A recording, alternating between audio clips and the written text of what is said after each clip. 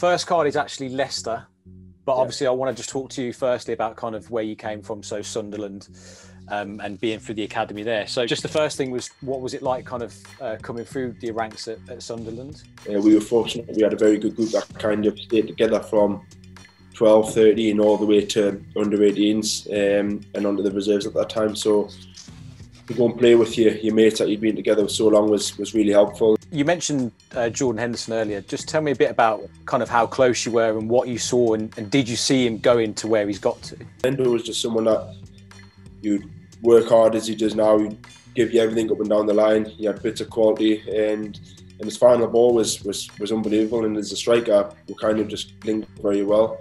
But we also had the likes of Jack Colback in midfield who we all just kind of complemented each other. It just gave us a platform to go and play under 18s reserves. And then when we got called up the first team, that we were just so comfortable with who we were playing with that it kind of helped with progressing very quickly. it must have been quite hard for you to break through because I mean, even the likes of Dwight Yorke and Andy Cole were there at one point. But what was what was good is we had Roy Keane who really didn't matter what age you were, how good you were if you were good enough, he would put you in. He would tell you to your face how you went. If you were performing great, if you weren't, he wouldn't bat an eyelid telling you. And training wise, he wanted to win. He wouldn't be frightened to smash you or get smashed. Like he just that's just the way he was when he trained. Had he got a, a hairdryer in the locker when he needed it? Uh, thankfully, I never really got one, but I'd, I'd seen three or four in a short space of time, 100%. Pace is still up there, to be fair still, still up there. Yeah, Le- the Leicester loan was, was incredible for me. But I, I, came on, I scored goals, I made an impact, and that's all that the manager at the time, Nigel Pearson, wanted from us. Um, you think that's key for any young player getting out and just getting games under your belt? Yeah, 100%. Um, it was the best thing I ever done. I could have maybe sat around and been fourth, fifth choice striker at Sunderland in the, in the, in the Premier League, but the manager at the time Steve Bruce said no, go and, go and play games. It's important for you kids to go and, go and get some experience. It was incredible. We had a good year. We made the playoffs. We made the playoffs that year. We had, we had Cardiff, so we we lost the first leg one 0 um, Then the second leg, I think we we won three two. Went to penalties, and unfortunately, I missed a penalty in the in the playoffs to that, that put me out. It was the the famous the famous chip gate with Yann Kermorgant. Experience that made me grow up so much and realise like this is where I want to be, this is what I want to do. Obviously, junior time, you would have seen kind of the beginning of that Leicester team that we saw kind of go to the Prem. I don't know whether you played. Did you play the likes of kind of Schmeichel, Vardy, uh, Danny Drinkwater? Sven came in later that season. That's when he kind of brought in. Um, he brought in Kasper. He brought in the likes of Sol Bamba. Um, real, real presence in the team. Unfortunately, didn't work out for Sven that's when Nigel Nigel came back and we brought Vardy, we brought Mahrez, Knockaert, myself, Nugent, Woody, players that could could go and win games. It was it was unbelievable.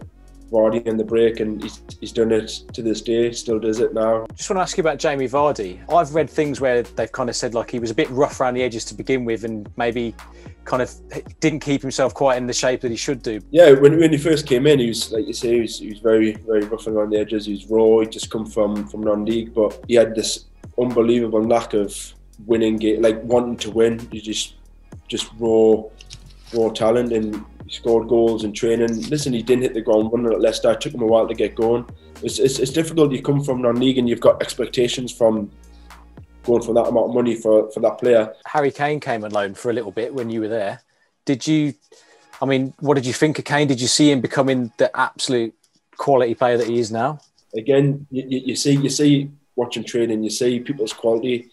And listen, he was young, but he, he could finish goals from, from nowhere, left foot, right foot his determination to stay out afterwards to, to do extra do extras in the gym. He, I, I, I, don't know. You can see certain players that have got mindsets of just wanting to go one better. You'd be there hours after training, doing whether it was outside or in the gym, just working on his game, and he didn't get the amount of game time that he probably wanted at Leicester. But his dedication to, to want to be better was was there for everyone to see. Okay, right. Wigan. We, was it a shame to kind of leave Leicester because they were on the upward curve that they were on? It was just a, a mutual agreement to, to, to cancel the contract and go there. And it was just one of them things where it was time to move on. The, the Leicester were going in one direction. They were having an unbelievable season. The big standout for me was you got to the playoffs again. We lost to QPR in the, in the semis again. Um, we lost. I think we might have been one one at home and lost one 0 at their place, which is which is difficult to get that far because we, we went from maybe 13th, 14th.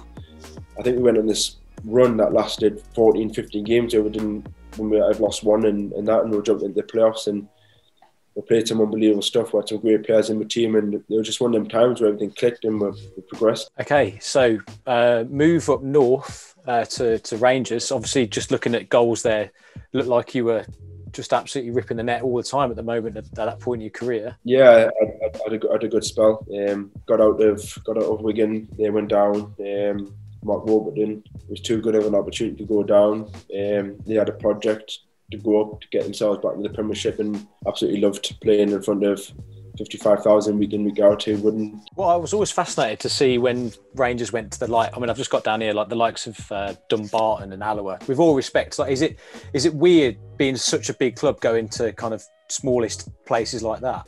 Yeah, it, it was it was bizarre because they had one main stand. Um, it was AstroTurf or the pitch wasn't great, but you had three sides of the stadium sold out by Rangers fans. The, the, it was it was bizarre. It was just a weird atmosphere, but the support that you got week in week out, home away, home away, rain, wind, snow, sun, whatever it was, they were always there for you, and it was incredible. The, the expectation to go and win games was tough at times, but that's what you you get playing for a big side. You've got to, you've got to go and win games, and yeah, it was it was an incredible time that I'm I'm grateful that I've been a been a part of just going to move on to Ipswich.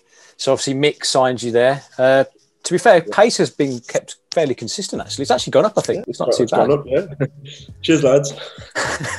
Why did you move back to England then? At that point, I, I didn't struggle. I, I, I, played games under under Woodward in the second year. Um, had a couple of injuries in and out of the team. I struggled a bit off field with, with stuff going on. And Pedro Caixinha came in, and he just kind of brought his own players in. He signed Morelos, he signed Herrera, Dalcio Gomes, like all forward players that kind of played in my position, wide right or striker. At the, at the time, I was, I was a bit hesitant because I always kind of felt that I had something to prove at Rangers. I always wanted to win more. I always wanted to play play more games and score more goals at the club. But the opportunity to go and play again was was there for us, and I needed needed to get out and start fresh and, and progress my career. Uh, Mick McCarthy kind of left a bit abruptly, didn't he? Because I, I, mean, I personally felt like he was doing a cracking job given the circumstances. Was it just as brutal as that? He just had enough, was it, at that point?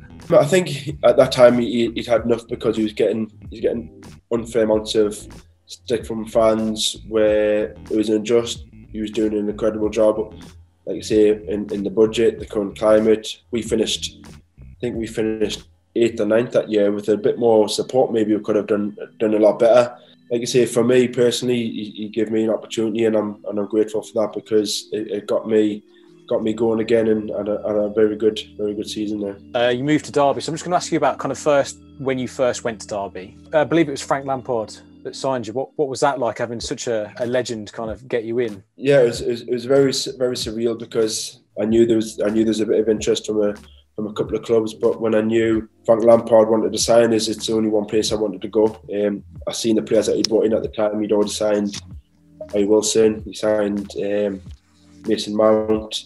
It must have been quite fascinating seeing such a, a quality player like Lampard kind of learn his trade on the job kind of thing because you must have just been seeing him develop before your eyes as a manager, right?